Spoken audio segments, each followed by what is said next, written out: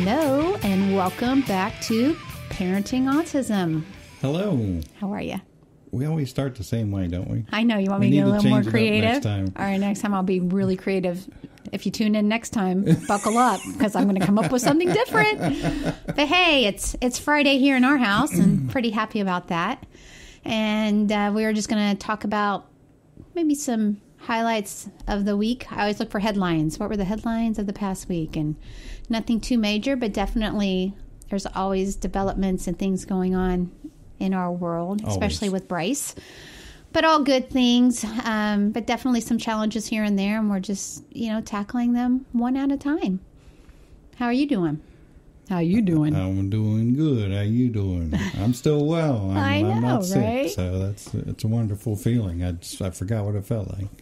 Yeah, that's good stuff. So, hey, I, the topics I had written down for today were going to be about um, emotional regulation as we're trying to teach Bryce emotions. We can see he's starting to pick up on that a little bit. I wanted to touch on one of the highlights we're working on now with him is personal space and for him to understand that.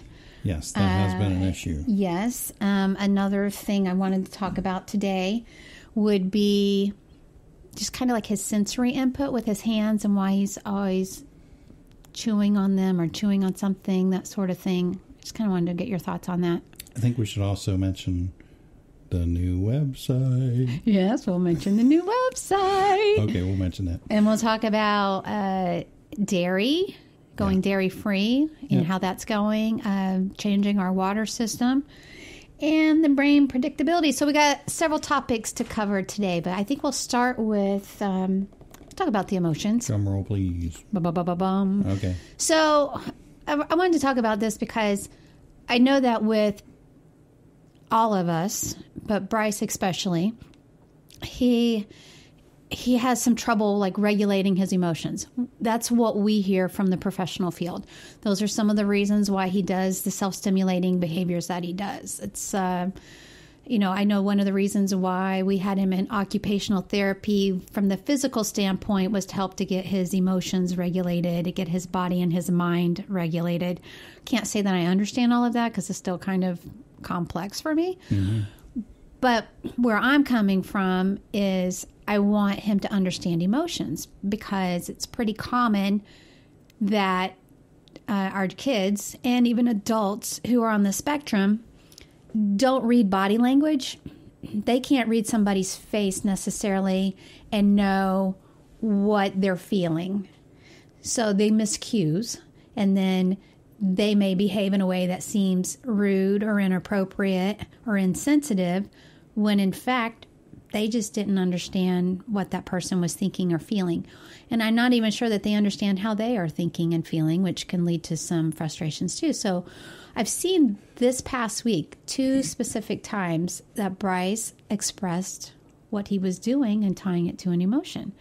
And so the first one was when he went to timeout last weekend. and so, as you know, uh, he has this horrible, horrible reaction when we say keywords that he doesn't like, that he screams them at the top of his lung. And I will not demonstrate for the sake of the listeners, but it's horrible. And it's like a single word. If you say bedtime, then he is going to scream that word at the top of his lungs. Yes. Uh, you know, there, there's a few trigger words that we try to now use substitutes to, To get around that. to get around that reaction. but the other night, you know, there was one that came out, and I and we're just not going to accept that because he that is beyond autism. That is just you need to learn how to adjust, and he knows that he's screaming and that it's not okay.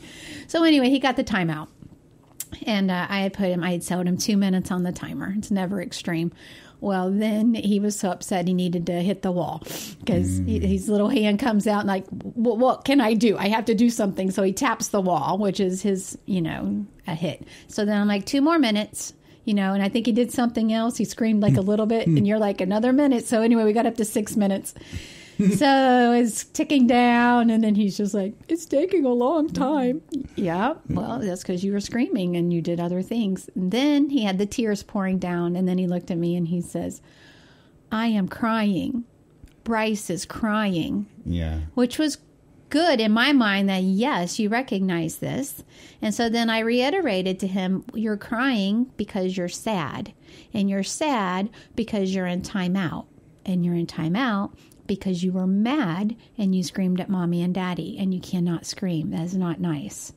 So, you know, he's thinking on that. And I think he even said, I'm sorry before it expired. And we said, That's great. We're glad that you said you're sorry for what you did, but you still have to stay in your chair until the time is up. But thank you so much for saying that you're sorry.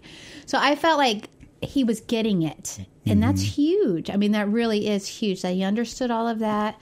We had a chance to explain to him how he was feeling two different emotions and he could see it and feel it with his tears. So then this one is uh, like kind of the opposite because instead of crying, he was laughing. So then the other night when we were um, laying in bed, and I don't know if we were tickling him or what we were doing, but all of a sudden he's laughing and then he says, Fake laugh. well, first it was the real one. Yeah. And then he says, I am laughing. And then Yeah. we're like, we looked at each other like, yes, yes, you are laughing. And then he got the fake laugh. Yeah. Go ahead, do his fake laugh. I can't do his fake laugh, but it was funny. It was funny. He's like, ha ha ha ha. Then he's like, I am laughing. I've been telling him lately because he makes me laugh a lot. And I said, You make me laugh. You are funny because I want him to know he's funny, you know? Yeah. But then we were telling him, You're laughing because you're happy. When you're happy, you know, you're laughing. So it was really cute. Like he identified it all on his own that he was laughing. And then he tried to fake laugh so that he could say again that he was laughing, Right. which was really cute. Yeah. But I do think that, you know, the more we can help him understand emotions, it's going to help him interact with his peers and with adults, which is really what we're um, going toward. And so I I got this list here when we went to the TACA list, and they kind of had like the six core, and it was anger, disgust, sad, fear, surprise, and happy. And then those were the six core emotions that they listed. And then they kind of have this whole thing where there's more emotions beyond that with different descriptions. And I, I think, I don't know how much we need to teach him about disgust. I know we tell him when he passes gas at night, it's disgusting. And he thinks it's funny. He does think that's funny, but he gets it. Like we do tell him certain things are disgusting. Hmm. That would be one of them, among other things. Fear. I think we say more. Are you scared? I don't use the word fear with him, but you know, are you scared of something? And I do want him to understand that. Surprise kind of goes with excited.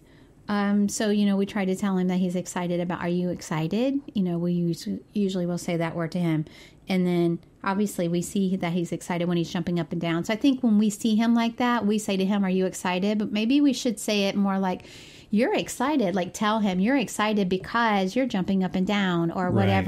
We're seeing that's causing that emotion.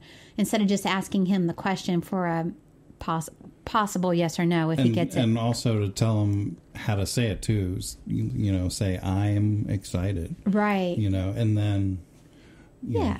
yeah, So I, I think those are just like the emotions that I want to work with, and I wanted to share that because I know there are some parents that may be listening that maybe they're having those same struggles with their kids, and I think it's one of those things that if you have a typically developing child, you just kind of assume they're going to figure all that out because they do. I mean, I, I figured out I was laughing without my mom having to tell me I was laughing. yeah. It was easier for us to figure out what emotions were for sure, and and kids on the spectrum they they really have a hard time with uh, deciphering emotions. Yeah, so I just thought we'd bring that up. Is that something that we're working on presently with Bryce at this age and working with him on the emotions? You know what? I'm going to roll into that with uh, some notes from the card conference Yeah. because it does address emotions also. Okay, great. So, uh, this was from a keynote speaker. I wrote down Peter from Belgium. Sorry, I forgot what his last name was, but um, uh, he has a book out. And um, so he was talking about what was in his book. And he said that our brains make smart guesses to predict things. So, like, um, our brains are more familiar with our surroundings. So when we go through a door, we can kind of already predict what's going to be behind the door. And so our brain asks for sensory feedback to confirm those predictions, you know. So we open the door, we get feedback from our eyes. Yes, you know, it's something predictable. Uh, then there's very low sensory input to our brains based on our prior experience of coming through that same door. So um, then the brain will ask the senses for more input when it's not sure what is going on. So if you haven't been through that door before, you might tap in your smell or your ears to help identify what's going on. So, um, ASD, he says, can be defined as difficulties in predicting the world. Uh, they can't predict what will be in a room. Uh, he's saying it's mostly like a surprise to them, or they make too specific predictions and they notice one thing being out of place and they have a problem with that. So um, they don't have the concept of putting things into context. Uh, they can't predict if or when a crowd of people will clap. Uh, autism is absolutely absolute thinking in a relative world. So, for example, um, they're taught to stop when a light turns red, but that's not always the case.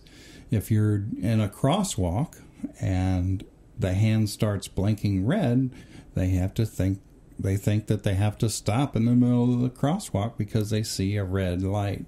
So, you know, we can't tickle ourselves because our brain predicts it, you know. So he says don't change the stimulus, change the prediction. So giving kids headphones and sunglasses only weakens their sensory system over time, and he thinks it's counterproductive. So that's that's his opinion in his book. So I know some kids use headphones and sunglasses like even Bryce recently has been talking about how lights bother his eyes and sometimes the sun is bright. Um, so we'll give him sunglasses to wear, but um, I'm not sure exactly what's going on there. Yeah, that's a that's a really new development because I know specifically when we're at the grocery store and he sees fluorescent lights. Yeah. He has been pointing those out and in fact when we were at the store he saw me trying to get a salad off the yeah. off the shelf and he was staying back because he was obviously scared of it but was concerned about me and told me that I needed to get away from it. And then That's when I brought the salad, he didn't want me to have that. I maybe because he felt like that was Danger. danger from the area and So I had to put it back. I did. I put it back because I didn't want to upset him. And then you snuck it off for me, which I snagged appreciate it. But yeah, But yeah, that's a new um, thing. So I think he's being he's gotten to the level where he can start telling us those Yes. things. Where before, you know, he may be may have a behavior, and we're like, "What is it? We can't figure it out." Well, maybe it was the light. You know, so that's it's you know we we try to like you always say crack the code. I know. you know so now that he's able to tell us some things we're being able to um, see what's going on in his head. Um, so in addition he, he says that um,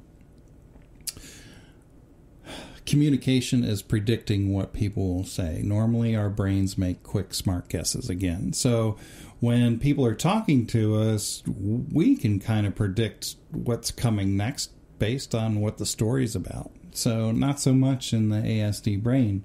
Um, so he says slow down your speech pause in between sentences you know so that they can absorb that and catch up. Add context such as i'm going to ask you about school today. So that's preparing them about what you're going to talk about so well, we don't he- do that. I know. Well, thanks for I'm- sharing with me. yes, That's as I'm sharing with everybody as we go through. As I said, I have not had time to go through I know. this. So, yes. okay. All right. So you kind of prep them. You know, I'm going to ask you about That's a good idea. today. So then the follow up question is. Did you use crayon and crayons and markers in school, or you know whatever your Yeah. question is? So they're in that frame of mind, so that helps them predict what is coming next. uh, and it helps them, you know, concentrate on what you're going to talk about. And then also, um, we talked about emotions. So, showing and labeling faces as different emotions can be a hindrance sometimes. And here's why is because you can mistake. Uh, he showed us a picture of two people crying. And he said, Are these people happy or sad? And everybody answered, Well, they're sad because they're crying. And then he showed us the whole picture of the person, not just the head. Well, one person was holding flowers that was just given to them, and the other person was holding a trophy that they just won. So they were actually happy tears. So it's better to, you know, show those types of things with context so that they aren't confused when somebody's crying. Right. Uh, so that's just an example there. Um, and so, uh, and he said, you know, on like when people are going to clap in the beginning of his speech, because there were some people with autism in the room, he gave them options before there was applause. He says, in my speech, there's going to be applause. So, I want to give you this opportunity to A, you can wear earplugs. Uh, B, you can, you know, put your headphones, or you can leave the room. You know, I'm warning you ahead of time that there will be clapping. If it bothers you that much, then you can leave the room, or you can stay. And so, if the people were going to stay, they knew, you know, if they're bothered by clapping, that it was going to be coming. So I thought that was a great uh, analogy that he expressed there, and and showed his concern for you know people on the spectrum, and and help them predict what's happening next. Okay.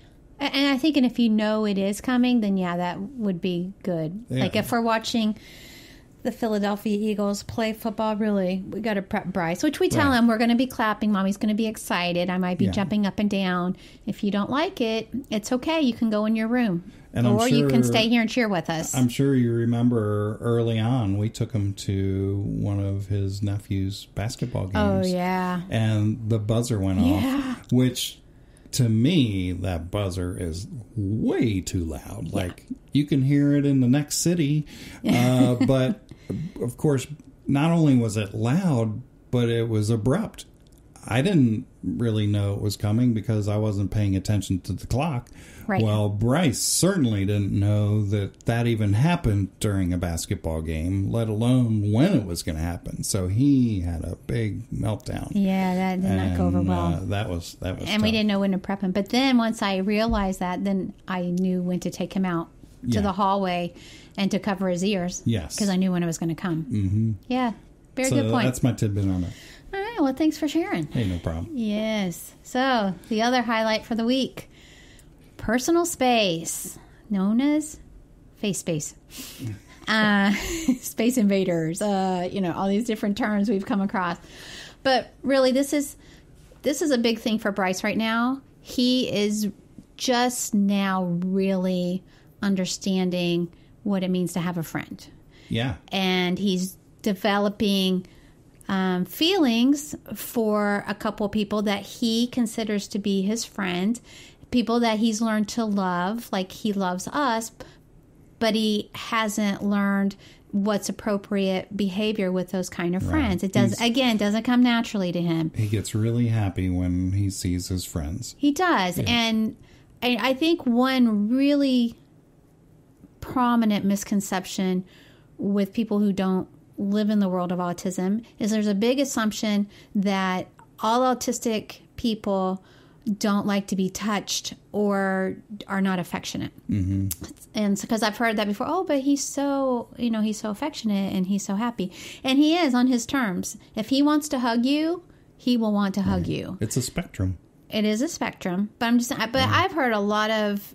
Um, he's not alone. I've heard a It lot a of moms speak. thing, So yes. yes, there are some that it definitely is a sensory thing, and they do not like to be touched at all.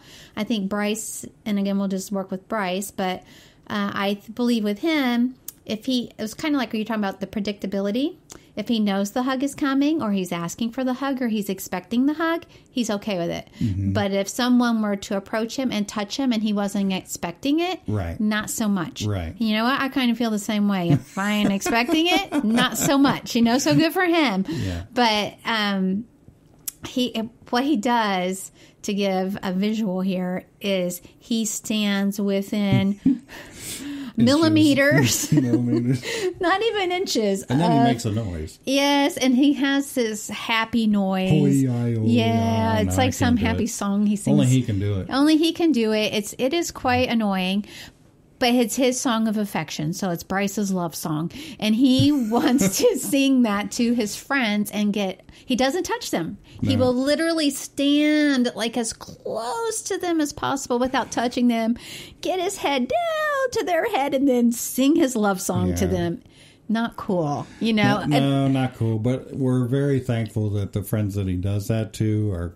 I think they're understanding. You know, they move away a little bit, but they. It's not like they but they're push still him his friends, and we're really happy. friends, you know, yeah, they so. are, and I witnessed this for the first time myself when we went to the playground with his little best friend, and um, you know. Was like mission accomplished. He's following his little friend around the playground. Everything his friend said, he repeated, you know, because we want him to have this type of interaction so that he can learn conversations and communications, all that.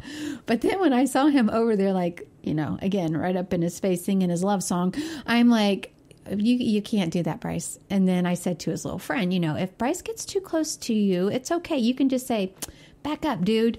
I said, and it's okay. You won't hurt his feelings. Yeah. You know, you just need to let him know. Because I wouldn't like if he was that close to me either. So I was really letting his little friend know, and his friend gets it. So, you know, and I could tell he was kind of like, mm, this is a little too close. And then when we first got there, Bryce asked him for a hug. And they hugged, and it was good. Then at that point, Bryce Bryce just really wanted to hug because we were getting ready to leave. And so then I said, "You have to ask for a hug." So he asked for a hug, and his little friend said, "No." and I said, "That's okay. You can say no." And I said, "Bryce, he just doesn't want a hug right now. That's okay. We'll go on down to the car." And then we went down to the car, and then his friend got in, and he gave him a high five bye, and that was perfect. yeah. So it was good. And then school, the this is one of his school friends, and so his teacher said, "I witnessed this for the first time, so bad." And I said, "Well, I saw it Saturday," and it's just because, you know, again. He loves his little friend. So his teacher is wonderful. And she said she like had to physically separate him three times, you know, like, but she taught him the term face space. And so she told him, you know, you got to give face space to your friends. And Bryce seemed to get that, you know. And so we're showing him also with our hands, like the distance that he should be from his friends, showing him like how we talk. So we're modeling it for him, but also giving him key words. So, like, it could be a verbal reminder, like face space, and he knows, oh. And so I had this mission to, um, to find some tools to help him. So I went online and I found some personal space social stories. And I also found even a little board game, so to speak, that has all these questions that are uh, whether it's appropriate or not appropriate for interacting with his friends. And then he gets to move forward or he moves backwards according to the answer. I don't know if he's on that level yet. though. No, I got it Yeah. because I figured this is going to be a continuing thing and we can yeah. test where he's at and then it can continue. Right now, I'm just starting with the social story, but I thought that was a really cool tool to have available because we also want to do more board games with him because my understanding that's going to help his brain develop and his language develop and our conversations, which is what we're shooting for. But um, anyway, it, it has been interesting, and I read, I, I went through the social story with him, and I was happy to hear from his teacher that he's doing better this week. In fact, he got a clear report yesterday, which was great. And then the, you know, earlier in the week, she said he did it a couple times, but then he self-corrected and said out loud, "Face space," like he knew. You know, he said he is so smart. He does get the stuff. We just have to present it to him. So I went ahead and I designed uh, a social story, so to speak, on one sheet of paper just for him. And so I went ahead and tied in all the things that we're trying to teach him right now, which is, you know, how to greet his friend, tell them hi, and give a high five, and when it's appropriate to hug and not to hug, and how to ask permission for that. And so I designed that, and I thought that's a really cool tool and a resource to have. And so I know we're working on this website that we mentioned earlier, mm-hmm. and so we're getting ready to launch it, and we wanted to put some tools on there. And one of the one of the features on our website is going to be that we're Resources. yeah, we're going to have resources that if you log in to become a member, then you'll be able to have these free resources that we find to be helpful for us that maybe you'll be find to be helpful And for you to become a member is free. So yeah, yeah, just- it's just logging in and then you'll be able to go and get those things. And that's something we're going to be building upon. So we're really excited about that. You want to say any more about that website? Uh, yeah, www.parentingautismshow, like TV show, but it's a podcast show, parentingautismshow.com. That's because somebody bought parentingautism.com and, And they're they're sitting on it hoping we'll pay them lots of money and we're not. yeah, right. so we went another route. But anyway, yeah, so you can find that. Uh, hopefully, we're going to launch it this coming week. Yeah, I mean, it's live now, so we just, uh, we're, I think the last thing that we have to Oh, that's right. They can go on now, uh, right? Yeah, they, we just have to Groovy. put the files onto the site, which will be happening in the next few days. So. Yeah. So yeah, we hope you'll go and check it out, and we're gonna. uh, It's really gonna be as we have things come up with Bryce, and we're finding these tools that we're using for him. Then we want to sh- pay it forward and share them so that maybe somebody else is looking for that. Yeah. Yeah. Yep, and um, so we're also uh, expanding to other forms of social media, Twitter, Instagram. Um, so I'm sure you'll see those links on the website if you want to hook up with us there, and also uh, YouTube channel, which we haven't posted any uh, YouTube videos yet, but we will. Yeah. And then uh, moving from there, I want to talk about uh, testing our drinking water. Go for it. Um, one of the things at the TACA conference that we just attended, uh, they talked about water and how uh, glyphosate, which, uh, aka Roundup, is found in a lot of the drinking water. Um, so that's a concern, along with heavy metals and, and whatever else. So uh, we did look at our water report uh, from the water company, and of course, you know they add fluoride and chlorine or chloramines into the water to clean it and sanitize it, and the fluoride's supposed to be good for us and, and Good all for your that teeth. jazz. So yeah, that's what they That's say. what they say. So um, they encourage us to do a water test just to see what's really in our drinking water because you know they can test it from the plant and you know have one result and then by the time it gets to your house you know who knows what else is in there so we're in the process of doing that now and i'll expand on that um, when we uh, submit and get our results but like there's only a few companies that I found online that do that, and two of them are not licensed in Florida to do the water testing. So I'm probably gonna have to use That'll limit your options. a different one. Yeah. So uh, anyway, and then you know some local companies probably do it, but they probably don't test um, for all of the things that we want to test. You know, all the heavy metals and things like that. and then you know, even if they do test for those things, I mean, they, they probably sell their own water uh, filter thing. So, you know, they want, of course, they want to sell you whatever they provide. So I, I'd feel much better about sending a sample off and just getting an independent uh, test done like that. So that's where we're at on that. Yeah, I think we're just trying to again, it's one of those things control what you can control because there's so many things in this world and on this journey that we cannot control. But there's some things that we can, and that's what are we consuming? And I think you and I both have landed on the same page that we're really trying to pay close attention to what we're consuming mm-hmm. in the way of beverages, in the way of foods, Yeah. even in the way of chemicals on our skin and in our hair and toothpaste and you know like you use a special tooth powder instead of toothpaste you know for you and bryce. And mm-hmm. so you know just things that we just have to pay a little more attention to to see if that will improve quality of health um, for all of us. And so, dairy was the one thing that when we came back from TACA, I said, you know what, I'm I'm I'm just biting the bullet and I'm doing it. Yeah. I know that for me personally.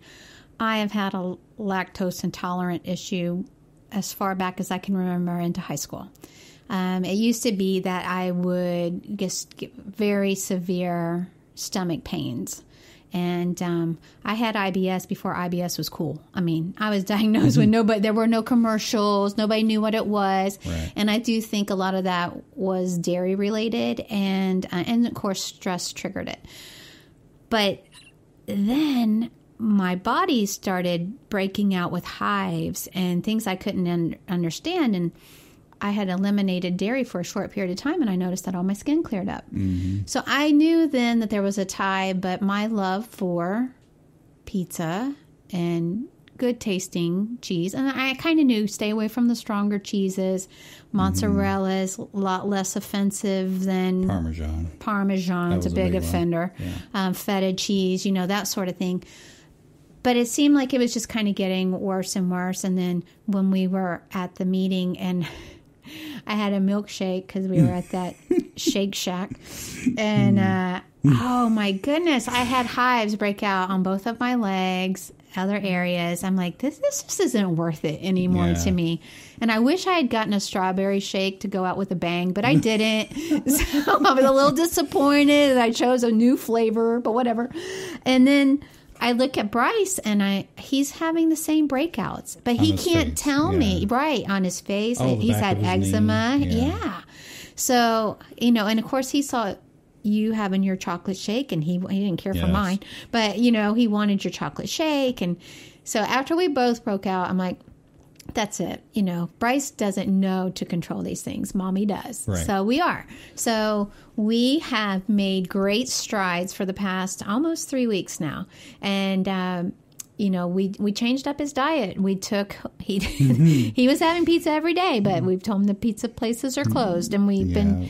Having meals in. We, we don't eat out as much now, which is a good thing all the way around. We tried one dairy free frozen pizza we, uh, that was a bust. That was a bust, and we took it back, and Yeah. they thought we were crazy. But hey, nine dollars and change for a pizza that my kid don't like. Yeah. You can take your product back. Yeah. So I was at some, you know, healthy food store place, but he, you know, he's okay without the pizza. And actually, I have found that he seems to be much more open and willing to eating other foods now. He is. Well, I mean, part of the reason is is that we're eating in so much now, and we're cooking, uh, you know, healthier Healthy. foods. So every night when we have dinner, he has his little plate, and you know, he gets a reward at the end, whether it's a new game on his iPad, Which is or, we try to go with something that's non-food, and that's Yeah. worked well. So We'll give him, um, and he'll eat a meat of some sort, and then he will eat all his vegetables. Yep. And we did go out to uh, dinner with uh, Grandma Roro last week, Yep. and for the first time, we actually got him a meal because I, mean, I say a meal from Longhorn because that's always her treat, and she wants to get him something. We're like, you know, because you'll be donating your money because he's not going to eat it. Mm-hmm. But this time, he ate his entire steak and his entire sweet, Sweet potato, potato. with no gripes whatsoever, and that was a really big deal to us. So I know that it's been good for him. Not only has his face and his skin cleared up completely, but his sniffles have stopped. So I'm hoping that this will help him with his asthma and his eczema as well. Yeah, his nose has completely dried up. Completely. So, wow, what a huge difference. Yeah. So, we know dairy was a big offender. Yeah, and then yesterday I had to I had to fast for blood work, so I was driving to work and I thought I intentionally made the decision. All right, I have my Starbucks gift card. Let me just go through. I can get a chai tea. My my happiness does lie in Starbucks hot chai tea with um, a slice of the lemon loaf pound cake. But the lemon loaf pound cake does have milk, and I know it. So I have not had it in weeks. So, what do you do on the um, chai tea? Because that normally Coconut comes from- milk. oh, coconut milk. Yeah, Okay. so you can tell them coconut milk, so I can dodge it there, which is great. but I knew I was pushing it with the lemon loaf.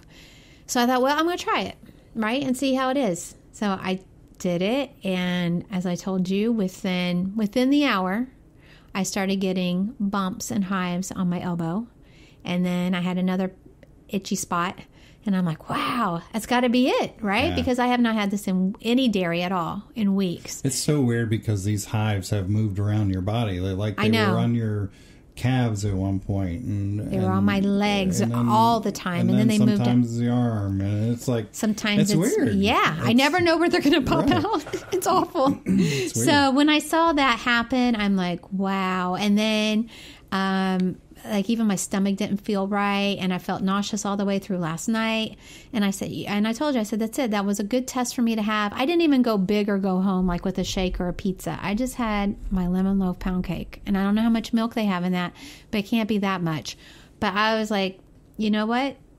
I'm so glad I did that just in the sense that I have to be Bryce's advocate and he can't tell me how he feels really after he has dairy. We only see it when we see it popping out on his skin. Right. He has a high tolerance for pain, so if he does have a stomach ache, I don't know. We that he wouldn't would tell know. us, you know, unless it was like really terrible. And it's obviously not good for him. So we will definitely stay away from dairy. So he, bakes cakes all the time on his iPad apps. He he's always enjoyed baking.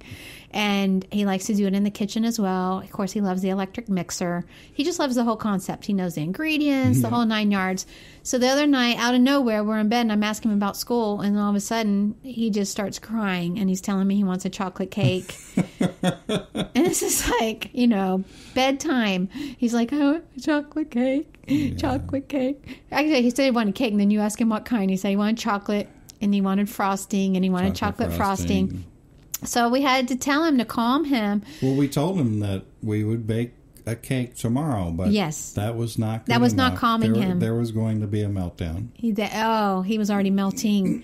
so we said he's all about his calendar. So we said, okay, there's no chocolate cakes on Tuesday because the stores are closed and we don't have it. But tomorrow on Wednesday after school, you can have your chocolate cake. But that still wasn't good. It wasn't, but we got him to the point that oh yeah, you had to. So then Chris Uh-huh. Chris offered up. I was in emergency. He was. He says, "Would you?"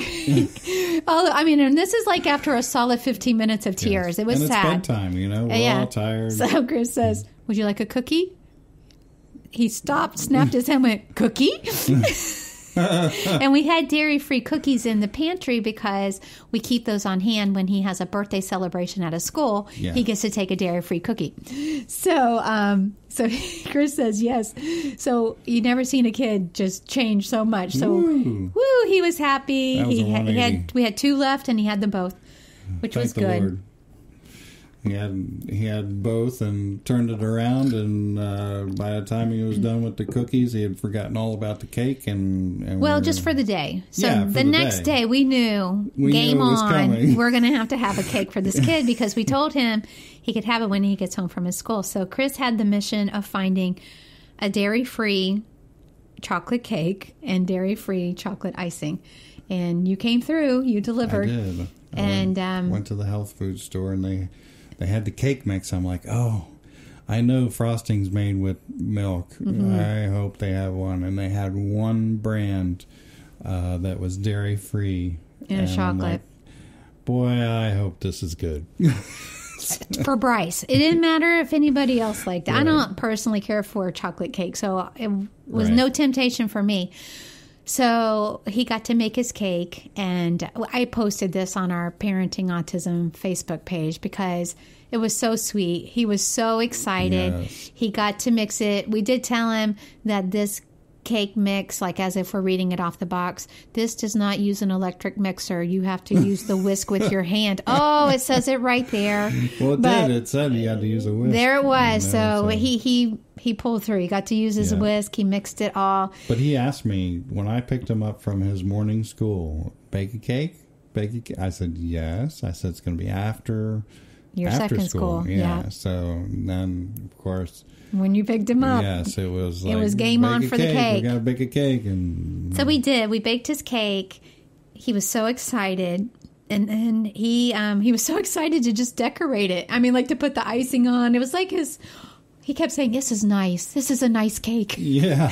This is a nice cake." so he uh, took a bite and he loved it, and Yeah. now he gets a little sliver each day, and it's a great reward for cleaning his plate. If he eats all of his food, which is his meat and his vegetables, then he gets a sliver of his cake. But you know, it can be done. So I'm just giving the encouraging words that sometimes it takes a little extra work. Sometimes you have to dig a little deeper, but you know, if you know something's not good for your child, then we just have to we just have to make it happen you know? We just really do. And it would be so much easier to just take the easy out go get him a cupcake and be done with it. And um but we just can't do that. I'm just at this point in life that i can't do that Well, if you know something is affecting him adversely, it, it would be mean, wrong to me I, would I would wrong. feel convicted you know, abuse about that No. don't kidding. call what is it dsf whoever comes Yeah. Um, yeah, but we really do want to do what's best for him and not what's best for us. Easier said than done, I know a lot of the times, but it was a parent win, I have to say, a big time. And so that was pretty cool. And uh, that that was a big highlight of the week. And I think everything else has really been par for the course. And yes, we've had some tears. Yes, we've had some little meltdowns, uh, but we're working through them. He's overall had a good week at school. He has improved in the personal space department, so that's good. And actually, his little friend's coming over in the morning to play on the water slide. So We'll see how that goes. we'll see how that goes. And we'll be able to enforce it. Exactly. For me, that's the opportunity. And and on that, I was going to segue into one more thing. So I was thinking about it, and we've got summer coming up, and you know he's not going to have all the interaction with his friends that he's had like during the school year. I want him to have a few more friends. You know, I want him to have a little circle of friends where it's not just mm-hmm. one friend. But I understand that it's not just the friend that has to be on board. It has to be the friend's parents who are on board. Mm-hmm. Because I understand that Bryce can appear to be a little different. And, you know, if I were in the other shoes, I don't know how I would be. You know, just like I want the behavior of these friends to rub off on Bryce by influence, they probably have a concern that they don't want Bryce's behaviors that they deem or see as kind of different to mm-hmm. rub off on their children. So there's no judgment on my part. I totally get it.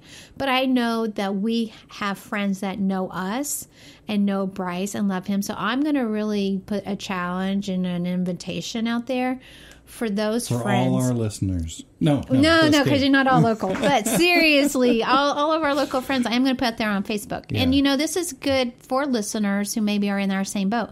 I'm going to challenge them and ask them and invite them, you know, let's teach our kids together and help your children to understand why Bryce is a little bit different, but that he's okay, you know? and help the parents understand too. and that will help the parents understand and then the parents and the child they'll understand and then you know we can get together with them and i just it's all about just creating that awareness and which i thought it was wonderful that with the schools around here because this is autism awareness month and they had autism awareness week at the local preschools two mm. of them did which i think that's great now how much did they explain to the kids i don't know mm-hmm. did they just see puzzle pieces or was there really some type of education to help them understand why kids are different. But, you know, I, I want parents to step up and explain that to their mm-hmm. kids. And so if the parents can teach the children, then the children are going to just accept and love the kids that are a little bit different. So Auti- autism is not contagious, so it's not. It's not. And, and, and it's, it's got so many beautiful gifts and Yeah. that's what we want other people to see that's why we do this show to create that awareness because everybody just doesn't understand it and there are a lot of people that want to know so anyway that's did we cover everything? i think we hit it all Time flies. time flies when you're having fun so i would say uh, again if you want to go visit our website we've got that out there that's and i'll put the link in the show notes but it's www.parentingautismshow.com Yep. um, you can reach us by emails if you want that's parentingautism Parentingautism at att.net. Yep. And then we have our Facebook page, which is just Parenting Autism. Mm-hmm. You'll see the link for the Instagram. I don't know who's going to tweet. I'm actually going to defer to Chris for all that because I, Oh, no. I ain't got no time for that, for all that social media. But uh, yeah, it's going to be good. We're getting, you know, we're just trying to create that awareness. So we hope if you're listening, um, you'll reach out to us with any questions you have, with anything that you might want to hear us talk about. Again, we try to stay on track with what's going on in our world, but we're certainly open to other questions you may have. I know I had someone call me yesterday um, because they're having some issues with their two year old and it's got some delayed language and some behavior issues and where do they go and i was able to refer her to our early steps program that they have here for the state of florida you know i want to be able to pay it forward because we've received so much these past three years so Oh. anyone that wants to reach out to me we're here yeah And I also want to give a shout out to Lexi, who left us a review on iTunes. She says, I love this podcast. Sandy's voice is so soothing to listen to. oh thank you Very informative and a great all around podcast. So we thank you, Lexi, for leaving us that review. And I think that review helped us pop up on the search results now. Yay! So we're Thank getting you, there. thank you. Uh, but more reviews will help us uh, show up higher. I don't know. Yeah, But- that's if somebody's searching, and then you know we're hoping that as people find us, even on Facebook, that they'll tag friends or share it on their walls, so that someone who's been touched by autism or someone that just wants to learn more, that they'll Yeah. tune in and follow along. especially our last episode on depression that seems to be hitting a lot of bells uh, so if if you or you know someone you know is going through that uh, our last episode would be helpful for them so on that note We want to wrap it up and say have a great day, and we'll look forward to talking to you again soon. yep we'll see you next time Bye.